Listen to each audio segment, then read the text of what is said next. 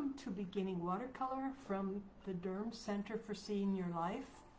And I would like to introduce myself. I'm Marie Kroc, and I've been teaching watercolor for several years here, a number of years. And I have a lovely assistant, as every ma magician has to have one. this is Janae, who's in charge of programs here at the center, who's talked me into this thing. so we'll see how it goes. But uh, before we start, I'd like to tell anybody who perhaps is using their own watercolors and does not have tube paint, if you're using pan paint, take this chance to wet, good and wet, your red, yellow, and blue, because it'll take a while for it to soften.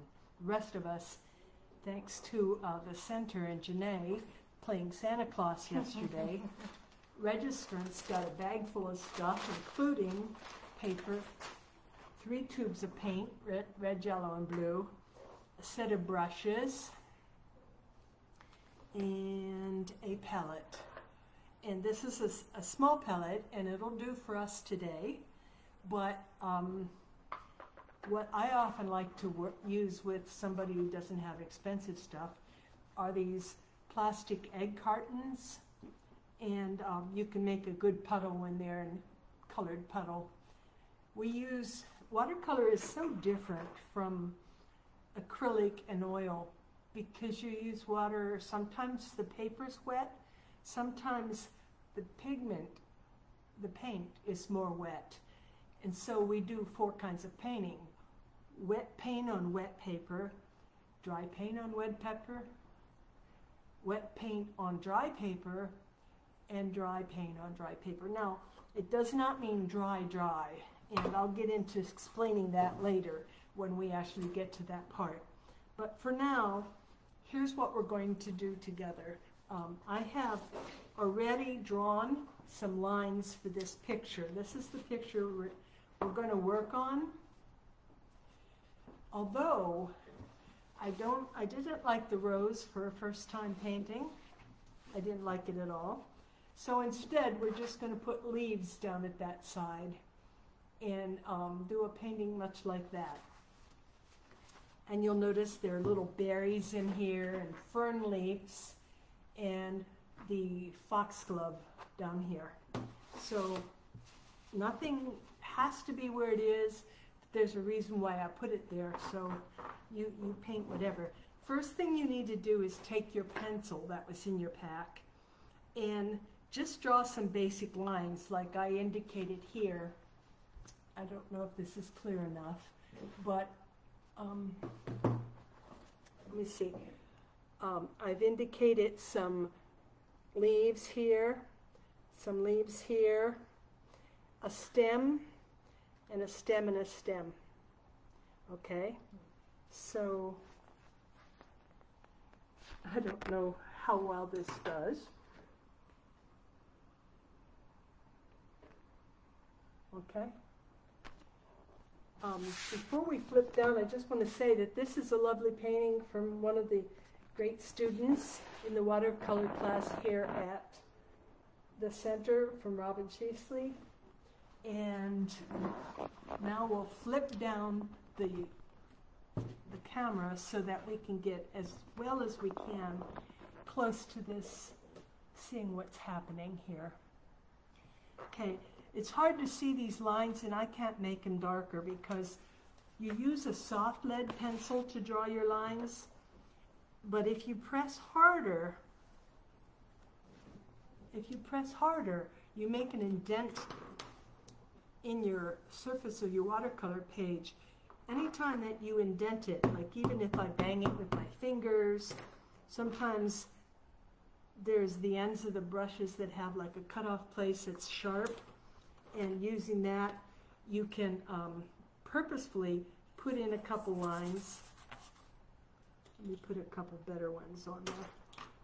Let's see, I need something sharp. I don't have it, but let's just say.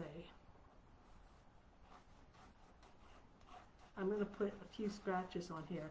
And we'll see what happens when we put paint in there. Usually those lines show up because the paint flows down into the damaged area.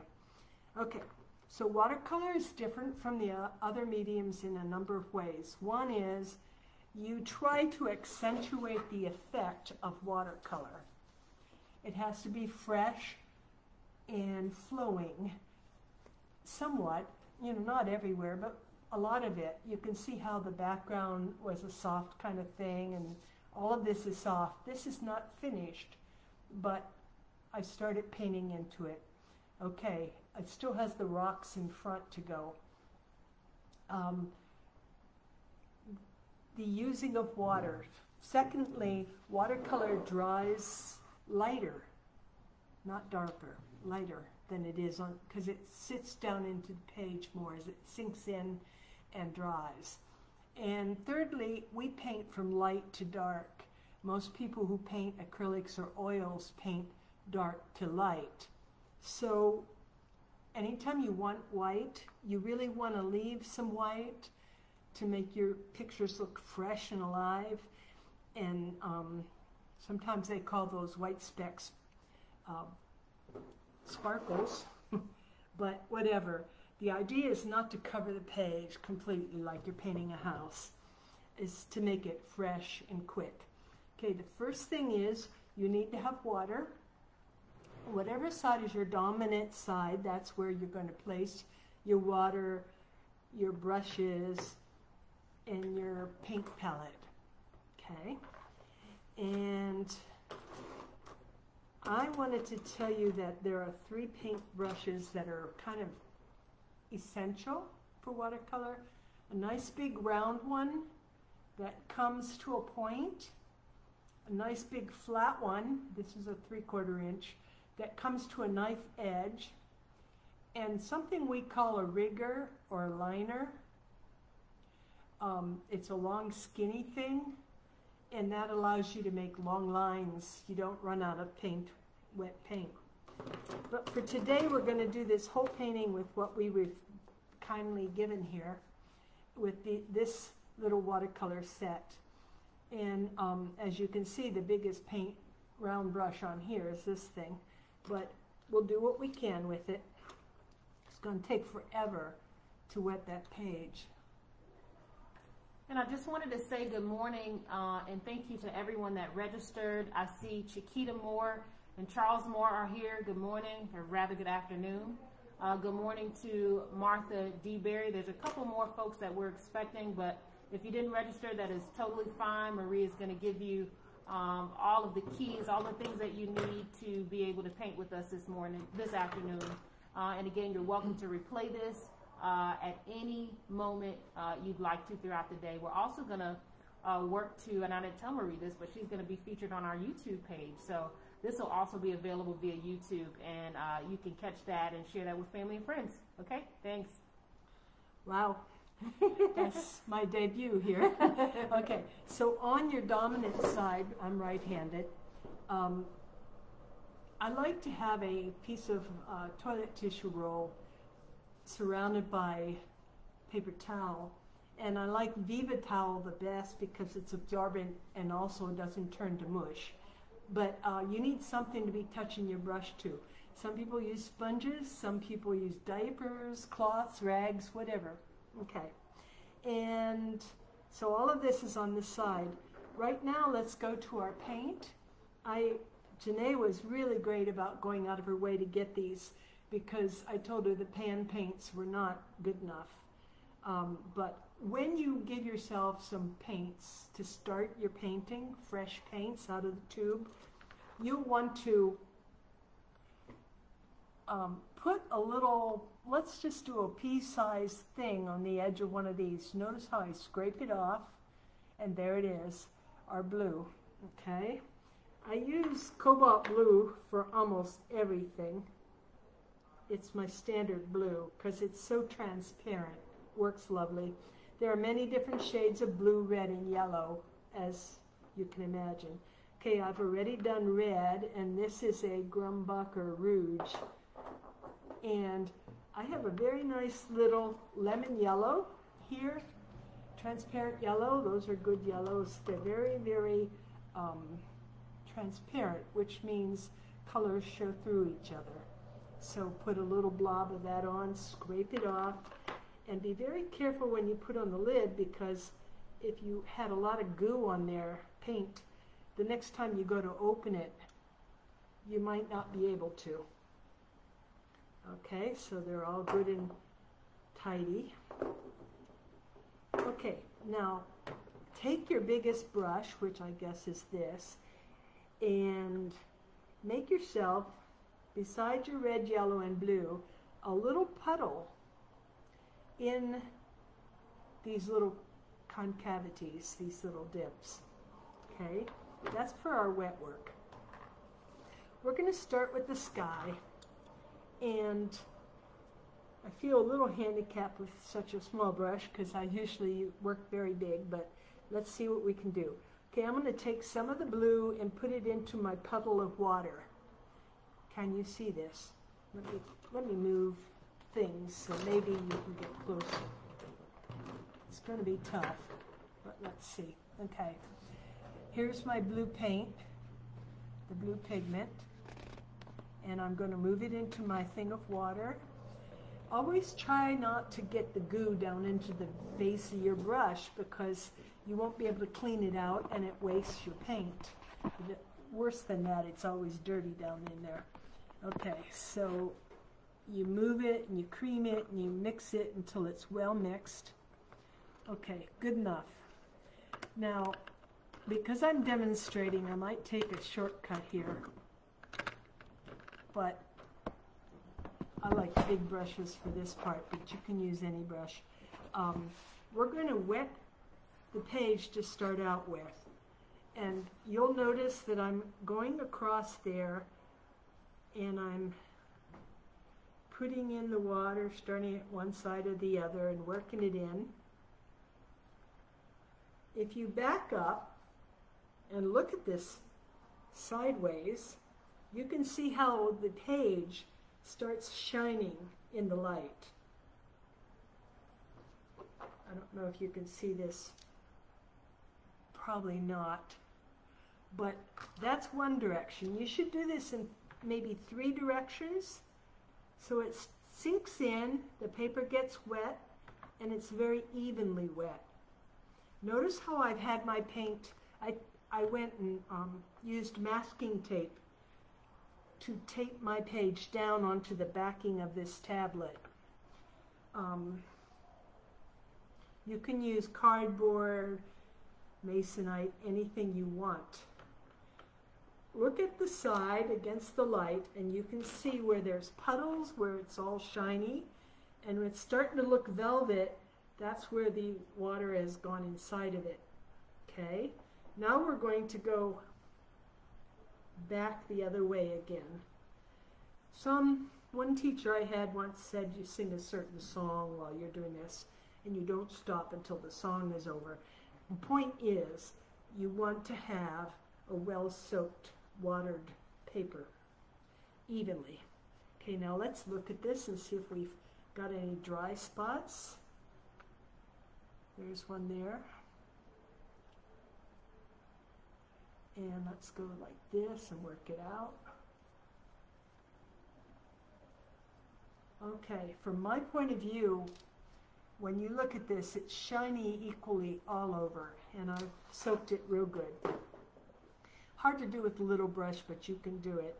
Okay, now I'm going to take that blue that we already mixed up into a puddle. I call them puddles, I don't know. But this is wet work.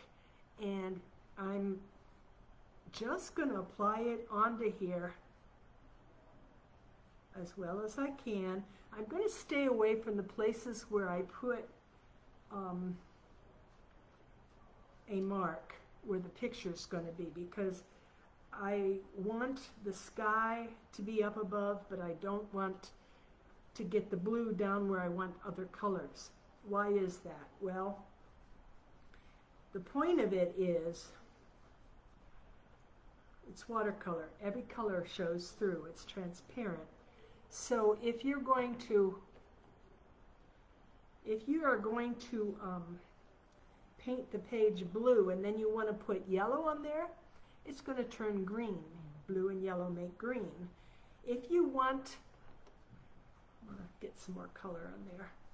And I'll try to make it flow in evenly. It's hard with a small brush, but you can do it. Okay, and you don't want to go too long at this because what will happen is instead of the nice color flowing, what you have is um, streaks. So we've got streaks. So I'm going to swish my brush, touch it to the paper towel. Now I'm going to come and I'm just going to work out some of these in between spots here. And I'm going to get my brush wet and kind of work it in there. Okay, now let's hope this works. So I'm going to flow the water every which way and try to get my streaks out of there. And they should disappear pretty well. And again, if you had a bigger brush, you would get less of the all that streaking. Trying to get, what if we made some blue down here where the shadow's going to be. I'm going to put some in there. You'll notice that I'm not always being real careful because at this stage you're trying to make it interesting but nothing to show up. Okay. While it's drying, I'm going to mix up some green or I'm going to show you how to use wet paint on the page and let them mix on here together on the page, not mix them up ahead, which means I have to start with my yellow, take a little bit of the yellow into the water, and where the sunlight's going to hit this, this is a little too, always have a tissue in your hand when you're watercoloring. It's very helpful. Notice if the brush is too full of water, I just suck some out of the very base of the brush, like that, because I didn't want too much water to go on there. I just want the leaf to kind of be yellow where the sun is hitting it. We're not worried about details right now because they come in later. So let's see what we can do here. This is not good.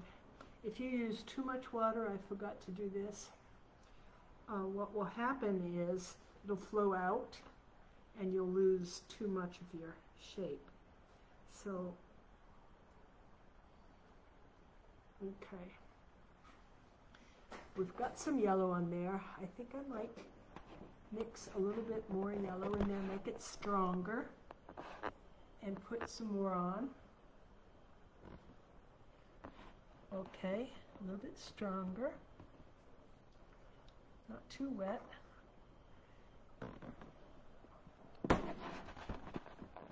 Okay. Yeah, I hope you can see this. It's, it's very hard to um, use what we've got going here to create this. Okay, um, at the same time I'm going to do blue.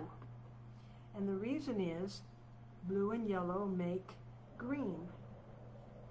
Suck out the extra water. I don't want it running all over my page. Now what happens when I put blue on the edge of the these things? Well, let's see.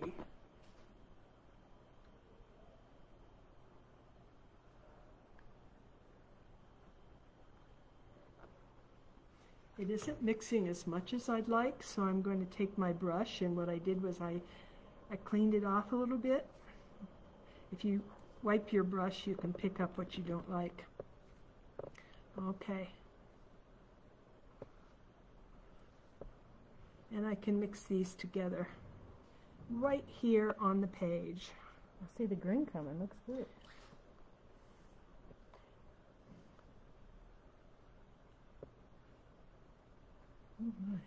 It'll have some more details later. It's just like right now. It's got to be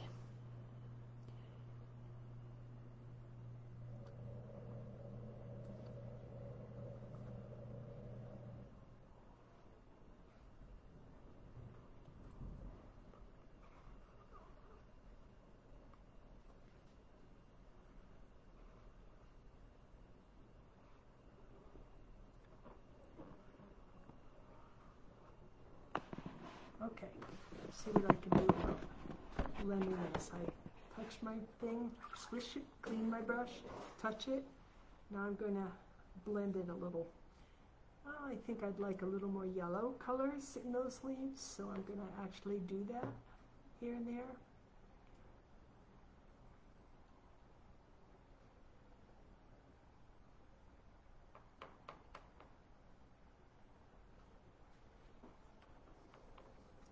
It may look terrible to you right now, but when we get the details on there, oops, I have a bloom here, and I don't want a bloom there. I could leave it, but I'm not gonna. I'm gonna touch the Kleenex to it to get up that little extra bloom. Okay, let me get a little bit stronger blue here.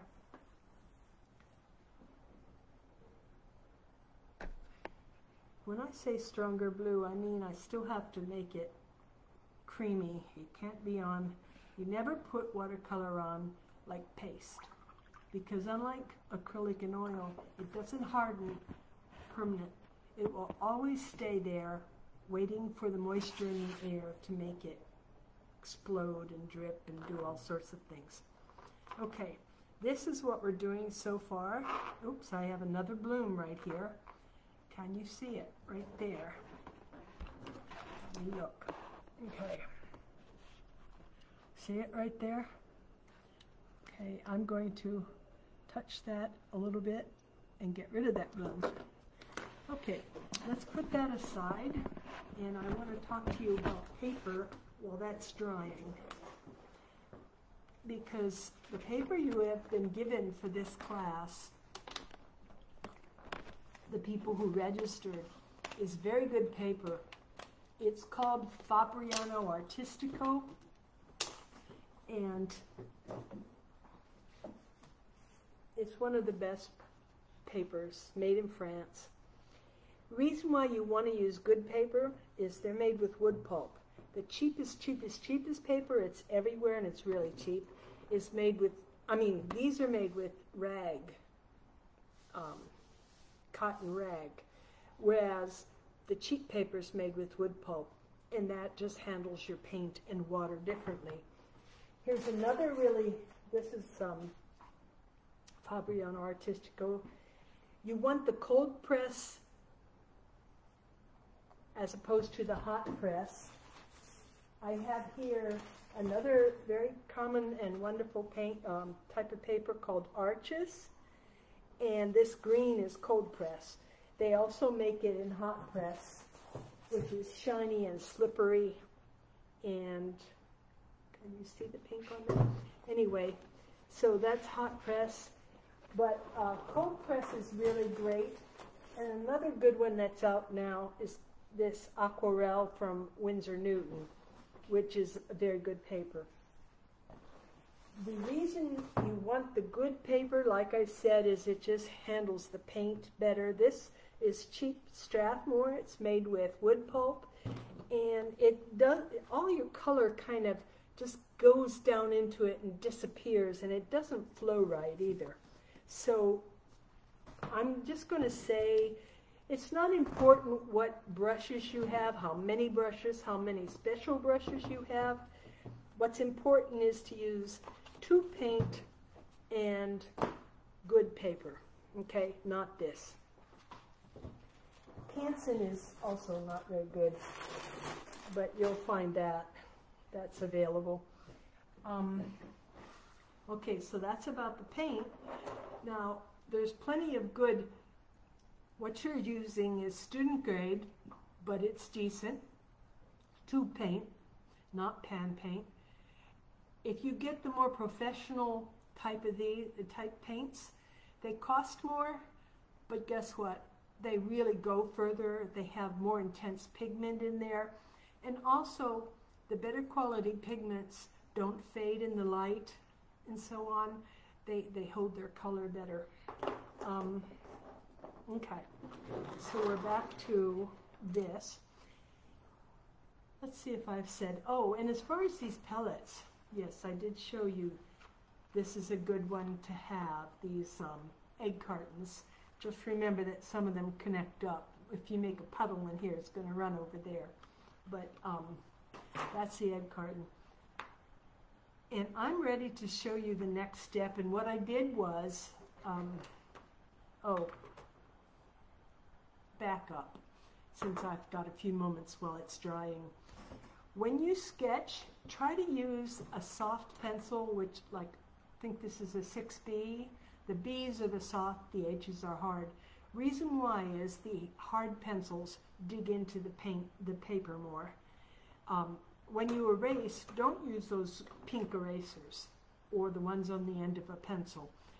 Uh, this is one that's called a kneadable eraser and it's a gummy little thing and you just snap it around a little bit to clean it and you make an edge like that and you can erase a line any way you want.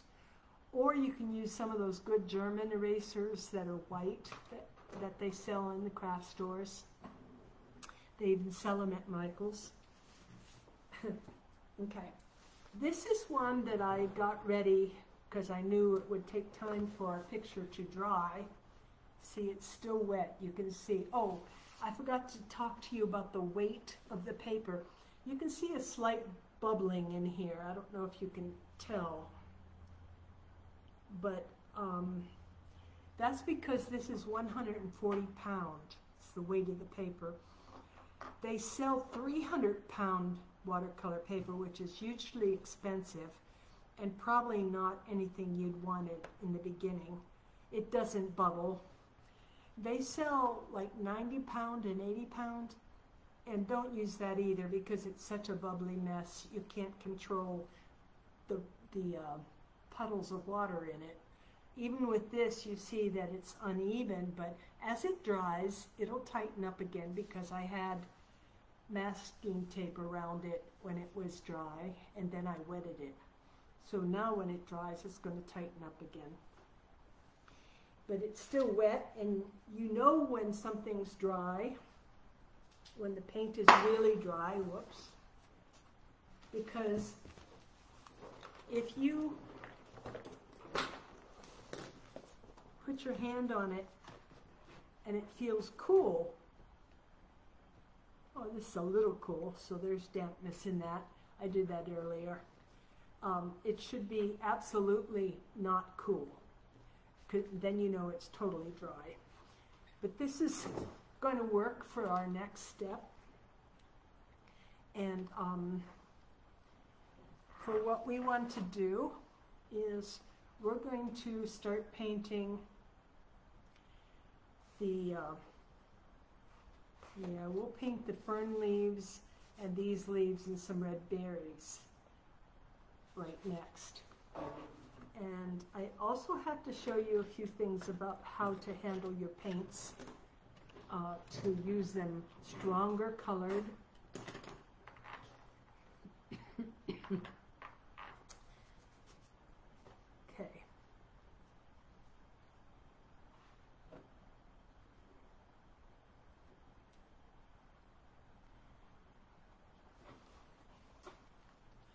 Supposing I want something a little bit stronger for green, I'm going to take some of my paint, oops, I already did it wrong. You should start with your lightest color first. I'll swish that out and clean it. Yeah, there we go. Let's mix some yellow. Now this is creamy, and I'm going to put it on there, and I don't know if you can see how it's sitting up above there. You don't want to use it like that. And same with the blue. I'm going to mix them together to make a green and make sure that they're plenty strong, but there's no lumps, paste, or anything. It's more like, if I go like that, do you see how the water makes it kind of move? That's how you want it. Okay, let's just say, I'm going to use the tip of the brush and go like that. I'm going to put on here a fern going over there and I'm going to make these fern leaves like this. Try not to make them all the same.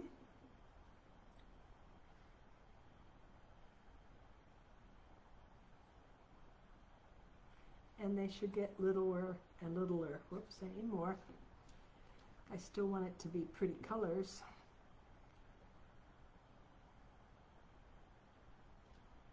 Okay, so we've got our fern on there. And I also want to paint a little of this stronger color, which is what I'm calling a dry paint, onto the leaves here. Might be a little bit too soon to do that. Yeah, it is. Okay. I want another fern going over from this side, but some of it is going to disappear behind that flower, so I have to make sure I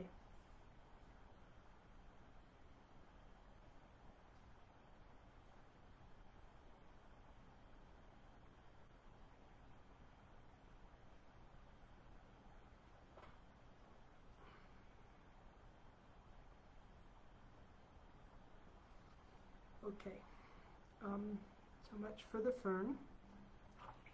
Switch out my green. Now I'm going to do something like I did my green color. I'm going to do the red. And I'm going to do it in this, the opening right next to the red. Okay, I want to make sure that I'm using it pretty intense, but that it flows. It has this wiggleness. I go like that, and the paint sort of draws back into itself. And there are no clumps on my brush. Okay? So let's put in some berries. I'm going to leave a little shine place on the berries. It's very important that you don't make them all the same and they're not going to be all the same distance or size or anything.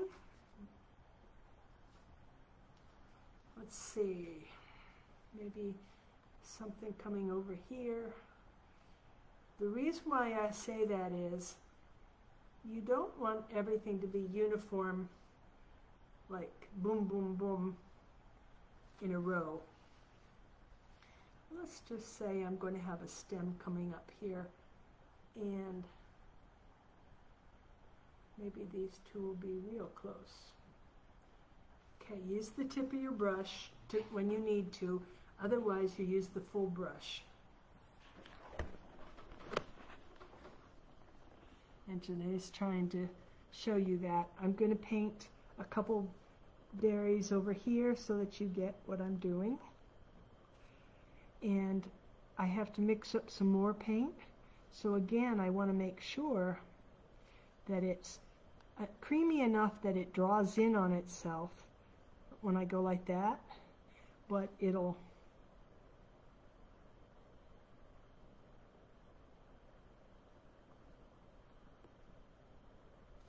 and if I don't have enough paint on there it's going to disappear. Remember the thing about watercolor, it's going to dry much lighter than what it goes on as. Okay, so that's our red berries. And unless we want some more paint, we'll probably, we might want some purple later, which would be red and blue. I noticed that, um, can you get me one page off of there, please? My lovely assistant. okay. Um, I don't want yellow right here. It must have fallen over there. So I'm gonna do that. Okay. Um, so far, so good. Just so you see where we're heading, now that the paper is more or less dry, we're not going to put on the rose, but we're going to put on some leaves. We've done the ferns and berries, and we're going to paint the blue foxglove in there. Okay, so again, take your largest round brush, which for you is just this one, right? Does that have Okay. a number on them? Hmm? Are those numbered? the numbers differ with different companies. Gotcha. So it's just size we're after. This, by the way, is a number be- um, eight bestie. What is it? Number 12 Bestie. Bestie is a very cheap brand, inexpensive, but it's very good. I started with this brand my first class, and I still like them. They're, they stay coming to a point when it's full of paint and wet, and yet it's inexpensive. Um, you might try that, but what we've got is this, and that's what we'll use, and that's fine. I just want you to remember to use, a lot of times use it on the, the full stroke of the brush, not always dab, dab, dab, dab, like you're a oil colorist or something. We're not Monet, Monet here, we're more like, hmm, I don't know who. Okay. Okay, um, I want to paint the blue foxglove next. So let's go ahead and get us some, some blue that is strong colored. And we'll put down the first thing. I'm going to get some more water in there so that I don't run out. Okay, too runny, but the first time we do it, it's okay if it's lighter. Okay, so here's my foxglove stand, and I know, hmm,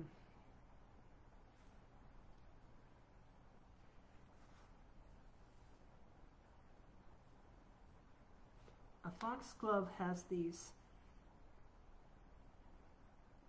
they have a circle at the end. They're they're like downward facing. Things like that. And they're bigger at the bottom and some of them come forward. They aren't all facing you to the side. Some of them are forward like that. So let's put some circles on the bottom of those and let's make them get smaller as we go. And I need one coming forward there. Okay. And as you get to the top they're really small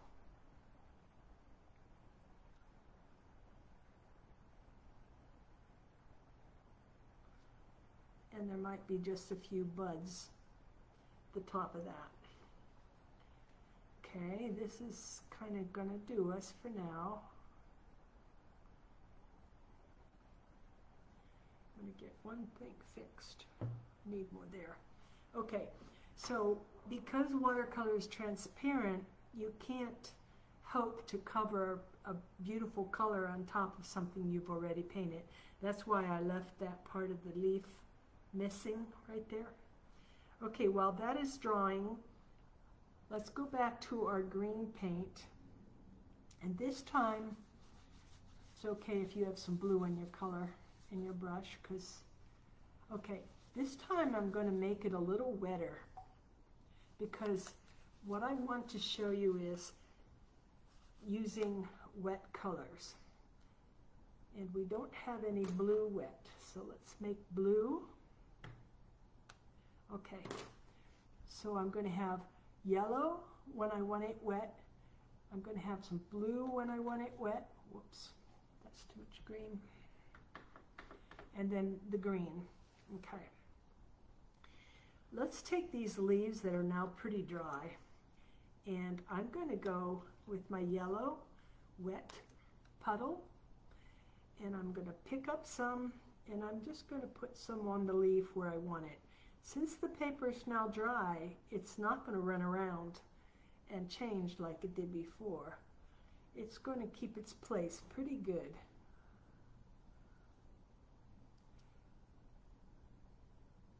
Okay. All right. At the same time, I'm going to use some of this blue that I, I mixed up. And I'm going to take that on there and just put it where I want more of a darker leaf.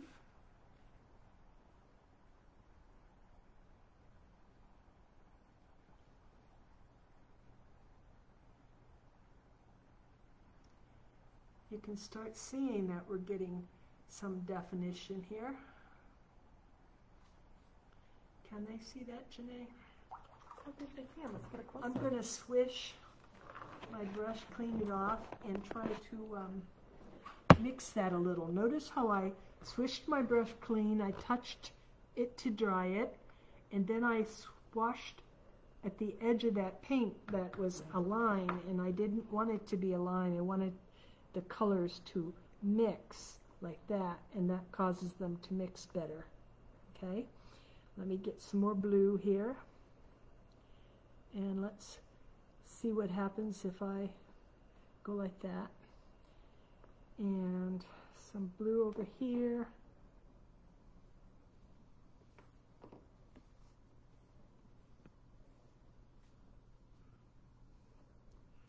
Okay, some blue here. It's in the background, so I made it pretty darn blue.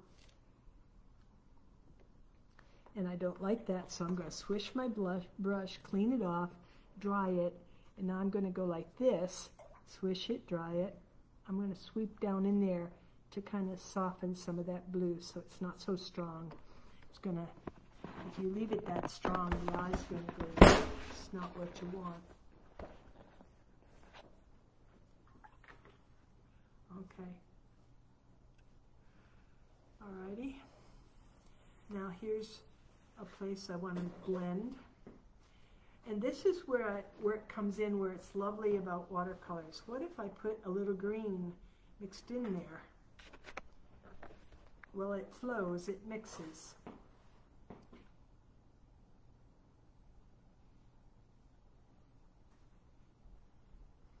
You can play with it, in other words. Because it's dry paper at this point, it's not going to run away with itself. Whoops, tissue time. Always keep your tissues. Okay, I splattered. All right, so we're starting to get a little bit of definition in our, our leaves. And I'm going to keep playing with it till it's kind of pretty.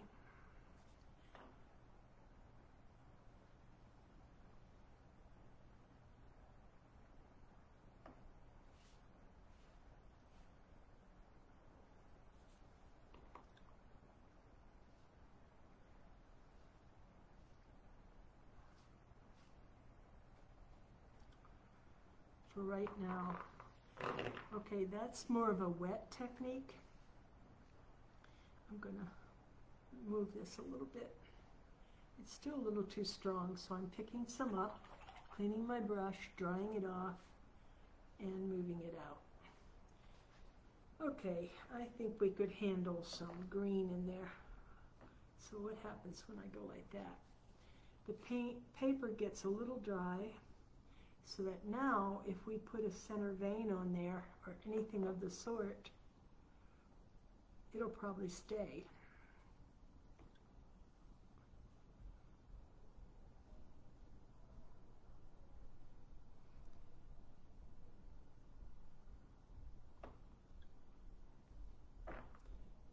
So a little definition. Some veins on the green. Let's see, veins over here. Little detail there. Those little bits of details aren't important, just nice to have a little bit of it. I'm going to take this green and I want to make it a little darker, so I'm going to take a, just a little bit of blue in there and mix it in with a little blue so it's a darker green. This is what I'm going to come up with on the uh, stem here. And up here at the top, some of those are green actually because the buds haven't opened yet. So I put green up there and let me see what how could I make this brown? I want brown stems on these berries. Well, you get brown or mud anytime you mix all three primary colors together. So I just put a bunch of red in here. And because it was so powerful, it overdid it. But here's what happens when you have equal amounts of red, yellow, and blue. It's kind of like a reddish. Let me get this out of there. Okay, very muddy. Do you see that? It's brown because it's red, yellow, and blue. I don't want it very wet, so what I'm going to do is touch my base of my brush to the Kleenex and it'll suck off the extra. So now I'm going to come out there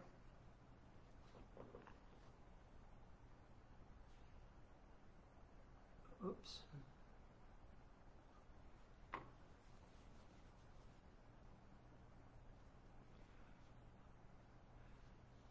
Okay.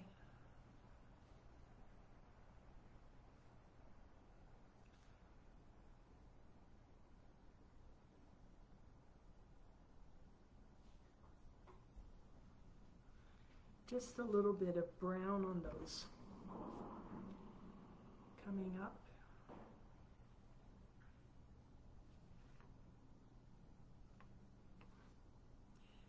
Remember that it's going to dry lighter, so you know, have to have enough on there to make it show up.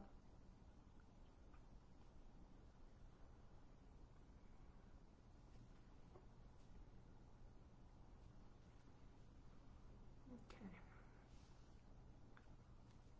Let's take some of this one away.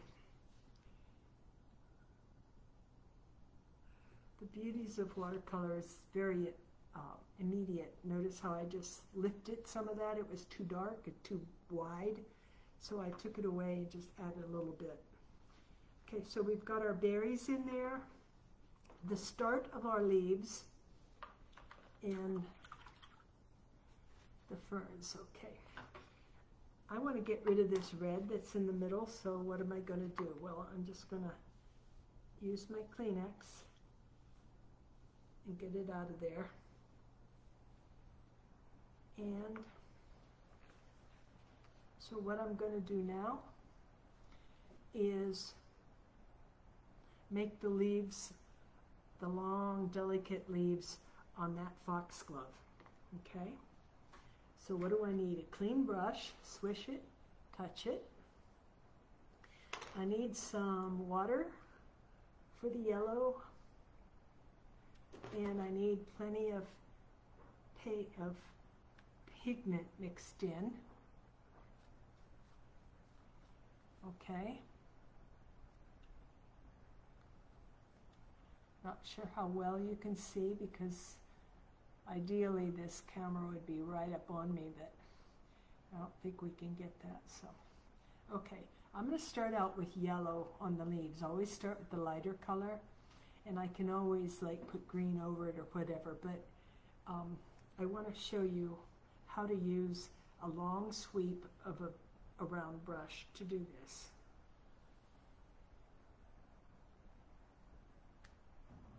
Okay, I came up all the way to there, and so far so good. So let me mix some yellow in another container with a little blue in there.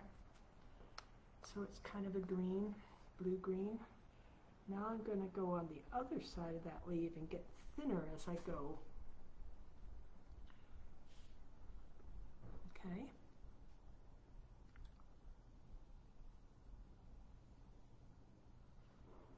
Alrighty. Let's go back to yellow. Clean your brush because it's yellow. And I want to make one that comes up behind all this.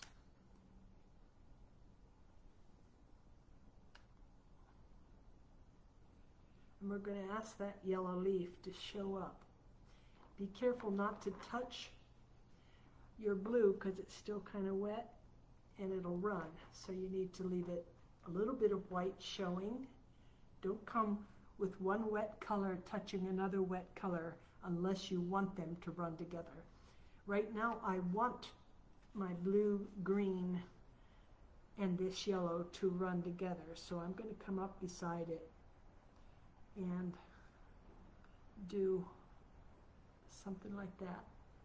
Okay.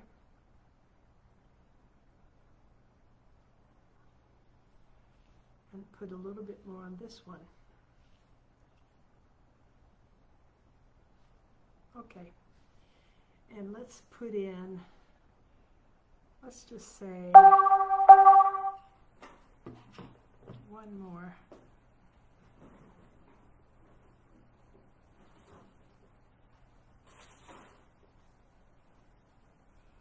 Coming down like that.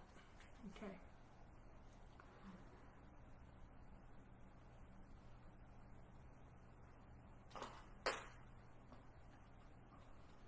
Okay.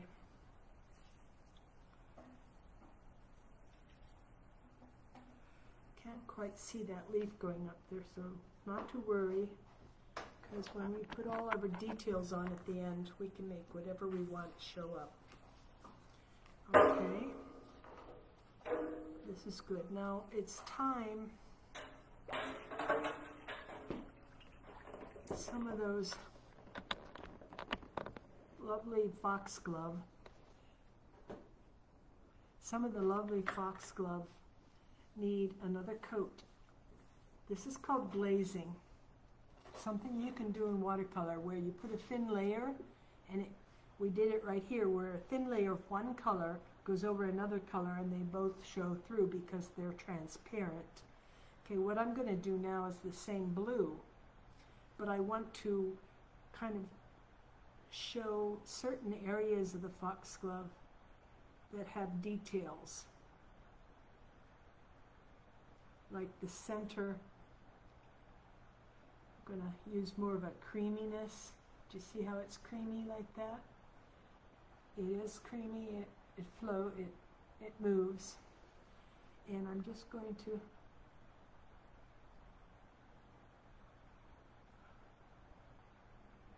hit certain places so that it looks more like the throat of those foxglove um, openings. The flower of the foxglove has a long throat and then a, a bell-like on the end. So we need to make that happen. And it's wrinkly, it's not round perfect, so I'm going to add a little bit of darkness to it. We'll do this better once we, um, once it gets drier. Okay, that's about all I can do with that until it dries some more. So now I'm going to go back and I want to make some stronger features on my leaves and maybe some rock color. Okay, um, first, let's get some strong leafy blue-green here, kind of blue-green. Okay, it's kind of strong because you see how it moves when I go like that. It's not a puddle, but it's creamy. So what will happen when I take these dry leaves over here and I go like this and I run it down there and make some veins in there. Maybe do the edge of the leaf here and there. Incorporate all that fuzz. Doesn't matter if you hit it perfectly. What matters is that you're very free and loose about this. Okay, there's some leaves. It needs a little bit of something on the side there. I sure hope that this is focused so you can see what I'm doing.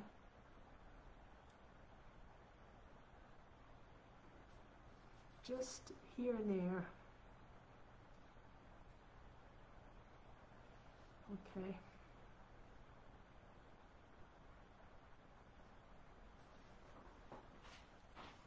Let's start with this leaf. Okay, it kind of comes down like that. And I want to have some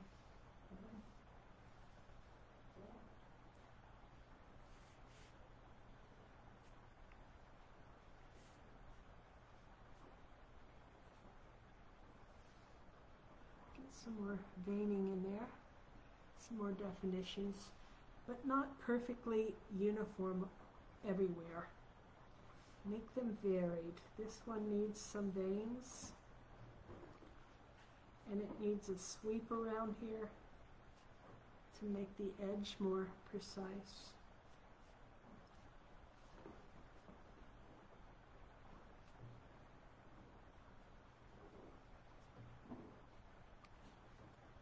Okay.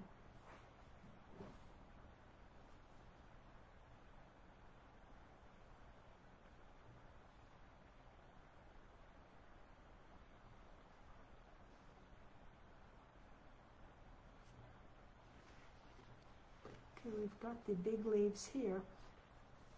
This one just begs for something, so I'm going to run down right down the middle. Like that.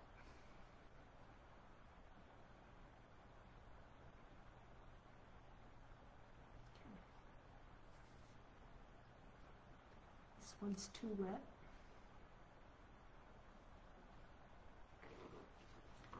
Okay. That's all we can do until it dries. Let's go ahead and add a little bit of shadow stuff down here at the bottom.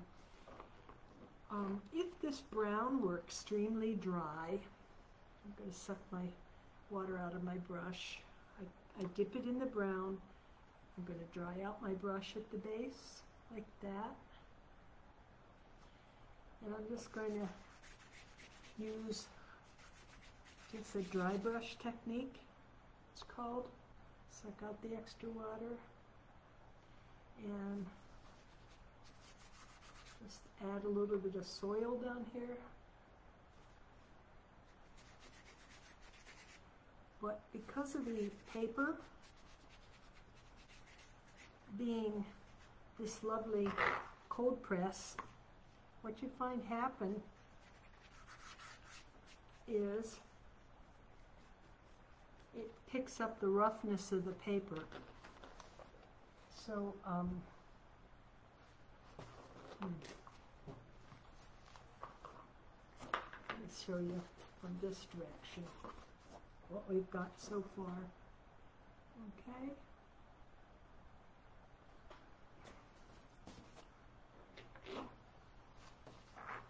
When we do watercolor, a lot of times we use hair dryers to dry the um, stuff faster.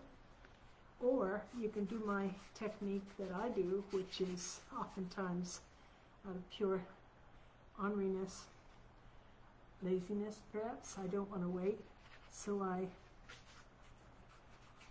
I will paint on more than one paper, more than one picture. Just while one's drying, I can do something with another one. Okay, everything's done on this paper that I want except the very finest lines. Let's compare. Okay, forget the rose, but um, this was my original thing. Or even better, this one. I wanted to hide the rose. I like the foxgloves in this one because I, I actually added some black on there. You can make black if you use blue and say orange. Um, certain colors make a better black, but I'm going to try to make black with what I have here because I want a little bit of darkness in here and a little bit of darkness detailing around the foxglove. So let's see what we can do with the three paints we were given here. I need some water. Okay. Now let's start with some creamy yellow, some creamy red, which makes sort of an orange. Okay. And I'm going to mix in a lot of creamy blue with that and see if it makes it black. My favorite black is actually indigo blue with burnt sienna. There, that's about as black as we're gonna get it with these three paints. Yeah. Okay. So we have some black mixed up.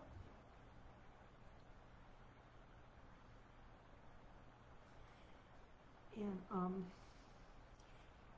notice some of these, some of my flowers are still wet. So if yours are wet, you need to wait until they dry.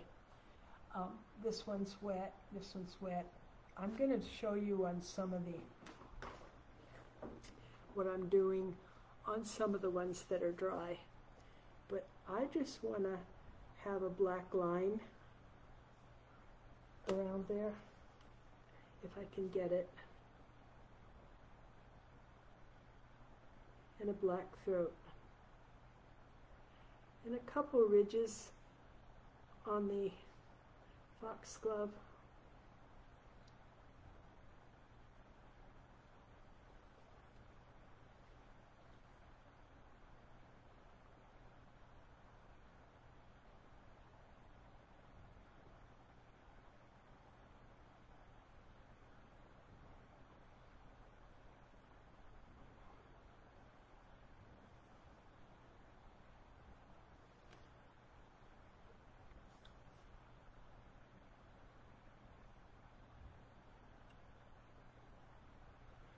Adding just a touch of black features and a few black lines there. It's not a true black, it's more of a brown that I'm using, but oh well. The idea is to make it look like a foxglove.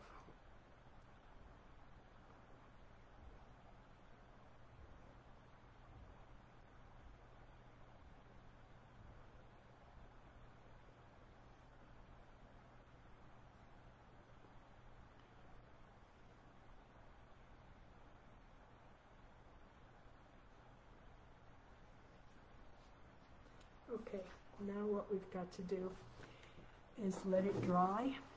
And um, if there's any more dark area that you want, like I think I want some more dark over here, I'm going to use this color for it. Like this area around the thing. I'm going to put a little shadow down here.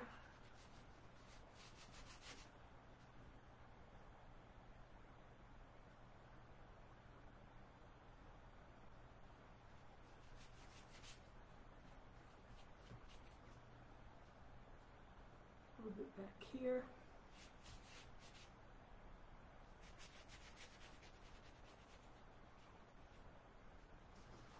Okay. Alrighty. I think I'd like to make some purple too, which would be adding the red and the blue together.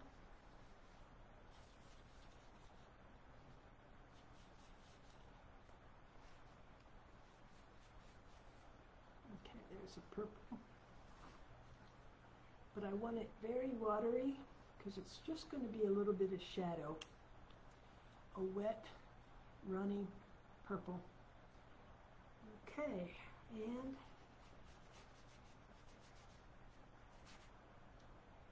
I want to get the shadow right down under here.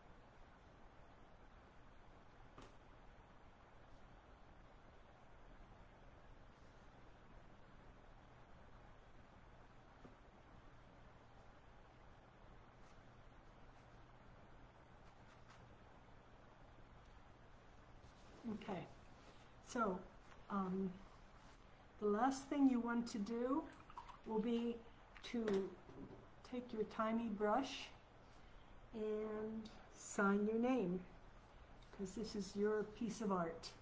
And hopefully you had fun doing it. The most important thing is to kind of be free and easy and have fun with the paints. Um, watercolor doesn't want to obey you at first. And if you learn how to use that to your advantage, it makes some marvelous fun and some marvelous paintings. I'm just going to use my so-called black, which is actually brown, and I tend to use just my initials, but I've been doing this initial stuff since high school, so there it is. But um, the only thing I would do with this differently is I would wait till it dried and paint a little better on those um, foxgloves. But that's the painting for today. And I hope I can't tip it too much because it's wet. But, um, oh good, okay. Yeah. So you can back this up as I understand it. You can go back and see it again and again and try to, you know, whatever you missed, see if you can catch it. And maybe we'll figure out a way to get it closer next time. Hopefully there will be a next time and I'm glad that you came on board. Uh, don't worry if it isn't like mine because gosh knows you could paint much better, but um, this is what happened this time. And I wish you the best of luck with your watercolor. Keep at it. The most important thing is not how many brushes you have or what the money you put into it. It's time, how often you paint, and use good paint, paint and tube paint. Good paper, tube paint. Those are the important keys for really good. But if you don't spend the time with it, you won't master the water aspect. And um, get yourself always some Kleenex, paper towel, again, Viva, very good. Uh, the brands of water, of, oh, and I will tell you that Arches comes in three different ways. You can buy big sheets of this stuff that are 32 by 40 inches, and then you rip or cut it down. You can buy it as tablets, or you can buy it as blocks, and all of these good papers come in this way. And a block is all glued together. And then when you paint on it, you don't have to tape it or anything. You paint on it, and when you're all done, you take a little table knife or something, and you lift off the top layer, and you paint on the next one. So that's a block. They cost a little more, but they're convenient. And again, Arches is a good brand. It's cotton fiber as opposed to the wood pulp. Then we have Fabriano Artistico, which also comes as a tablet. That's what you were given. And it comes as something aquarelle, which is a block. Always I would recommend to start with 140 pound cold press. The other good paper that's nowadays available is Winsor Newton, which is an aquarelle as well. And it, nowadays, this kind of paper is very good too. If you go online to Cheap Joe's in Boone, North Carolina, you can get something called Kilimanjaro, and that's also good paper and pretty reasonable too. So, um, and if you pay attention to the sales, if you get painting a lot um, in the winter, a lot of times they'll have special sales that you can get some good deals on things. That's when most of us that paint continuously tend to um, get our supplies. Okay, looking at this paint, this picture behind me, since I have a few minutes, I don't know what time it is. Definitely. We're doing good? Okay. I don't know if you can tell what's beautiful about this is it uses all these watercolor techniques. can you tell how the sky was painted with a wet paper, causing the colors to flow and mix? Okay. The um, background trees had the colors put on wet on dry paper so that they kind of mingled a little bit. And then, and also some of this foreground pink was put on wet. Then, when it was dry, you can see that somebody went along and painted this tree, these trunks, these trees here. Looks like the leaves on them were put on by sponges, possibly. So the details were added later. And these little bit of shadow details, that was sort of a wet paint just put on as a shadow. But this uses techniques that's very appropriate for watercolor. And um, I thank you, and that's it for me. Janae, do I do anything other than signing off? and we'll see. I'll be analyzing this because I'm sure there are things that I could have done better. Oh my gosh. First of all, I want to give a virtual round of applause. If you guys could just hit that hand clapping sign, say some nice words. I'm going to read them off uh, as I'm online now. Virtual hand claps always work. But we just want to thank Marie for doing this today. Um, she's a master artist. Um, and I had the privilege to make a couple runs to a lot of our members' homes. And uh, she had paintings everywhere and gardens everywhere, just a beautiful oasis. So she is a artist through and through. And we just want to thank you for being here today. Again, like she mentioned, you can play this back. You can watch this. If you missed a step, you can rehearse this over and over and over again. This is here to stay on our Facebook page. And as I mentioned a little bit earlier, we're actually going to put this on our YouTube page that we um, just got back uh, up and going. So even if you're not on Facebook, you can always go to youtube.com, type in our information, and it'll be right there on our homepage. Another thing I wanted to say was Durham Center for Senior Life at this time, you know, with us being closed, we have been offering so many different things, and we've been so gracious uh, to the folks that have um, donated or decided they wanted to give during this special time. We've had folks give checks, we've had folks give in kind, um, such as food and things like that. If you wanted to donate to this today, uh, the cost of this would have technically been about $22 per person.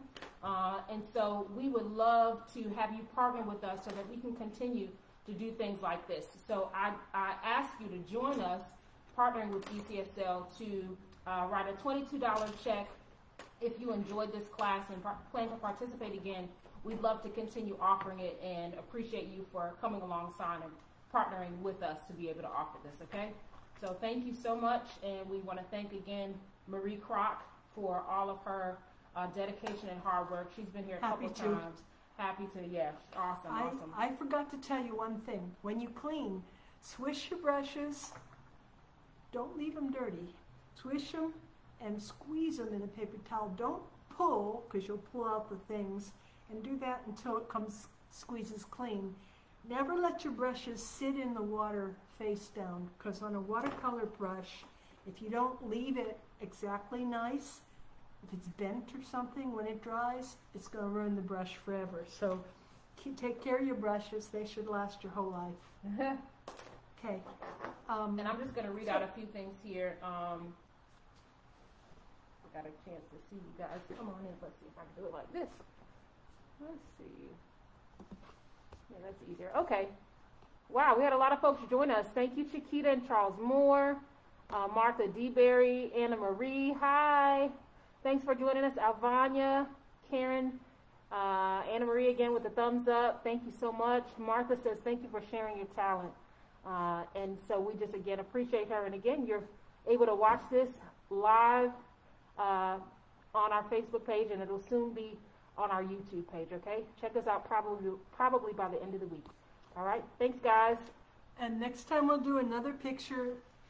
We won't spend time on all the beginning stuff because you know it now.